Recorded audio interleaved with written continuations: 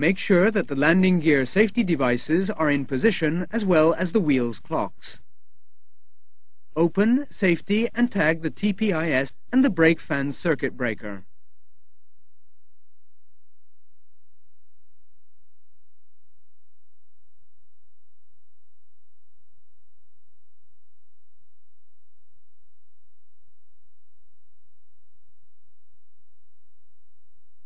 Put warning notices on the free fall control handle and on the landing gear control lever.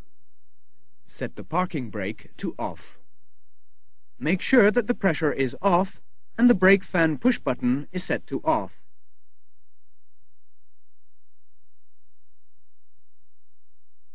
Put the jack in position.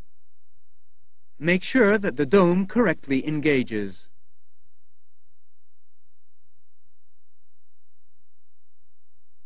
Lift the landing gear. Fully deflate the tire if it must be changed.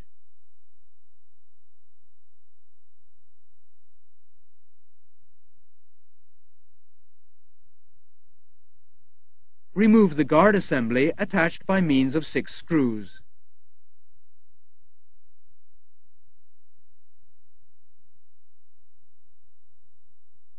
Remove the lock wire. Insert a tool to lock the impeller and unscrew the nut.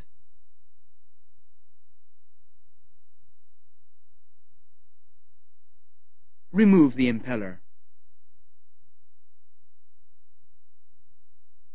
Remove the shroud fixed by two screws.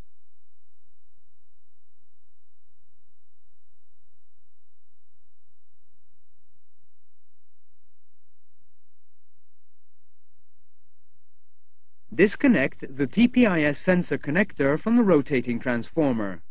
Note that the TPIS sensor must be removed from the wheel if it is changed.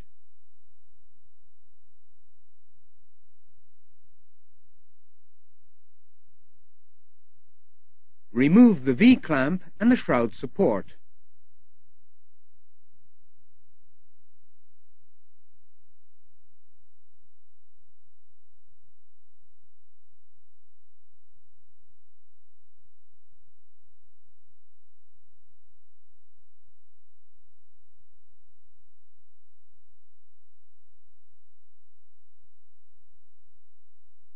Discard the cotter pins.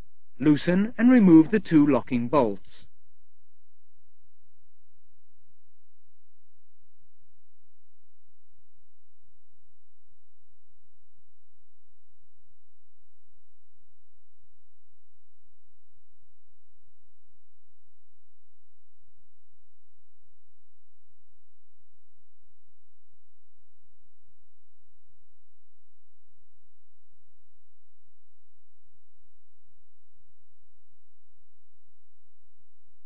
Loosen the wheel nut using the torque adapter and remove it.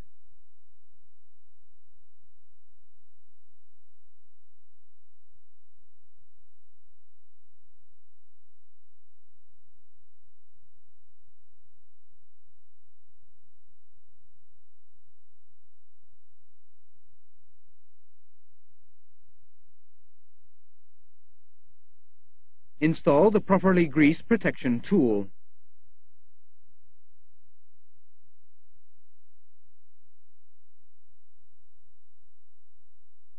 Using a specific tool, remove the wheel.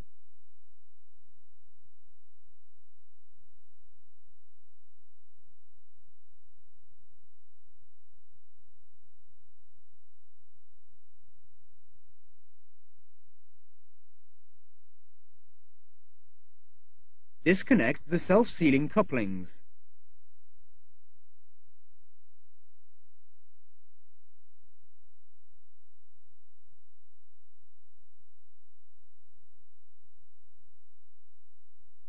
Disconnect the brake temperature sensor.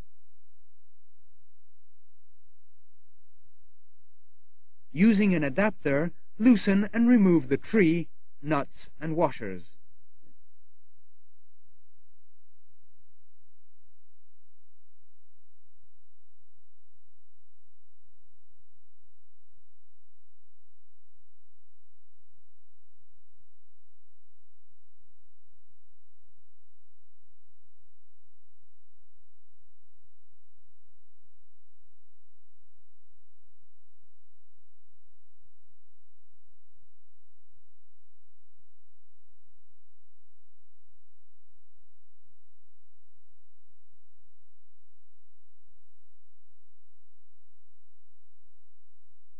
The protective tool being installed on the axle, remove the wheel.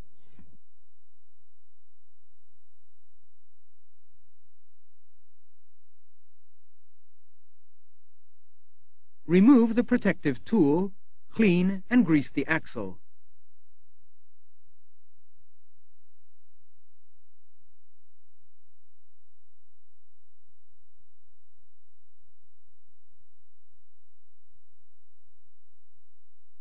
The protective tool being fitted, install the brake unit.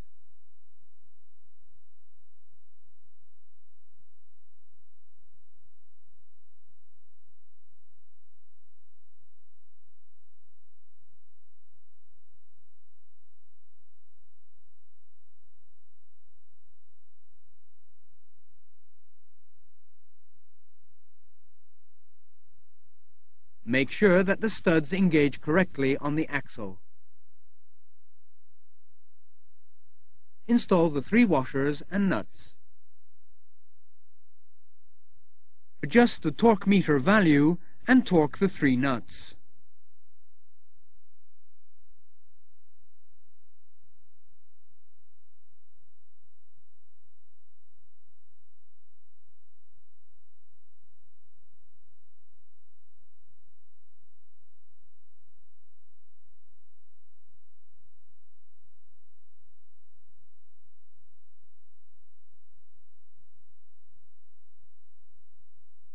Connect the brake temperature sensor.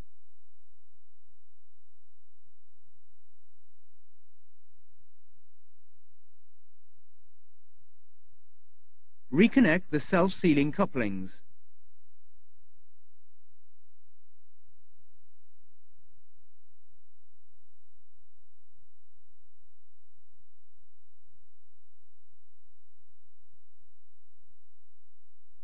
Remove the protection devices.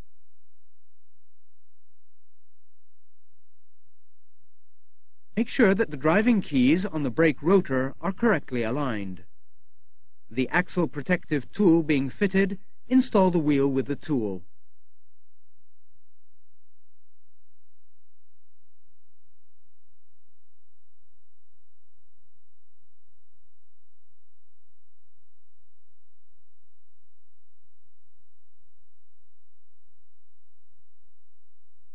Remove the protection device.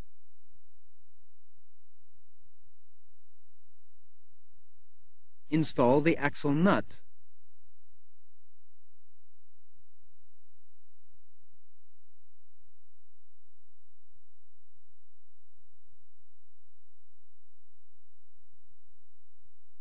Adjust the torque meter to the pre-torque value and apply it to the nut while turning the wheel.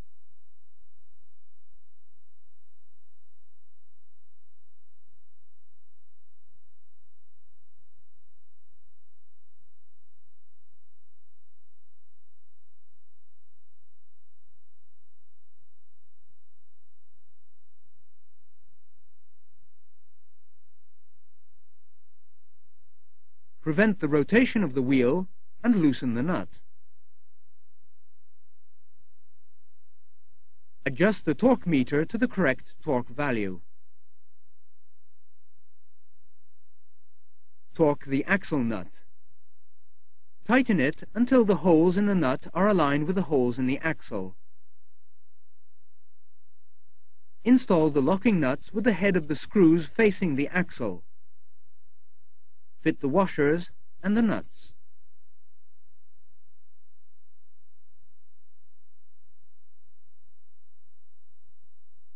Tighten the nut. Safety the locking nuts with split pins. Install the shroud support centered by a centering pin and tighten the V-clamp.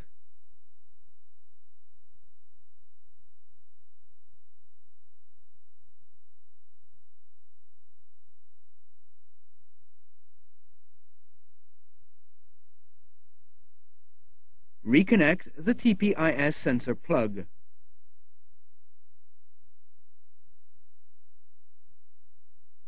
Install the shroud with the two screws.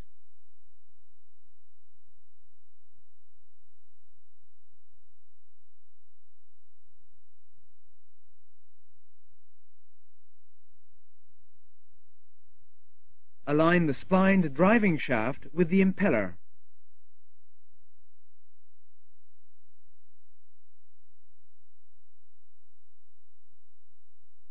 Install the impeller, prevent its rotation, and tighten the nut.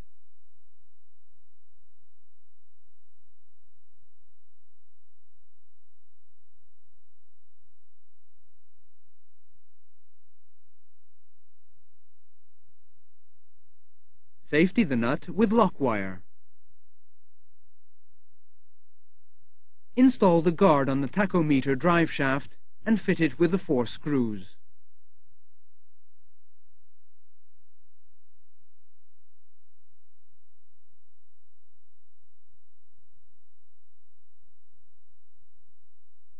Make sure that the area is clean. Lower the landing gear, the tire pressure being previously checked and adjusted.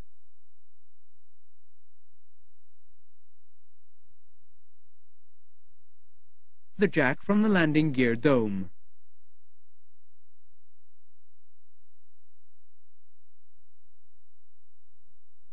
In the cockpit, remove the tags and close the circuit breakers.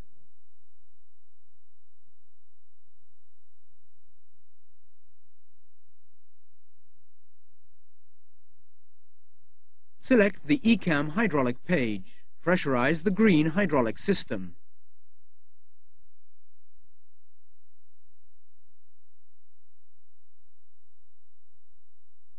Press the braking pedals. Check the forward coupling for any leakage. Apply the parking brake and check the pressure on the triple gauge indicator. Check the rear coupling for any leakage. Depressurize the hydraulic systems.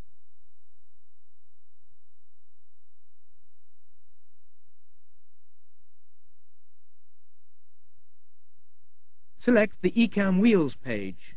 Check the brake temperature and tire pressure for correct indication. Select the brake fans on. Check the brake fans for correct operation.